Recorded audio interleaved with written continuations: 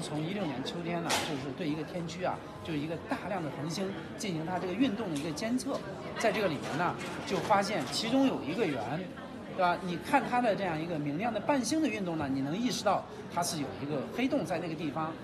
呃，同时呢，它上面呢有一个很强的发射线。我们呢经过仔细的证认呢，认为这个发射线呢其实是来源于黑洞的信息，反而不能是其他任何东西。最后得到了这个质量是七十倍太阳质量。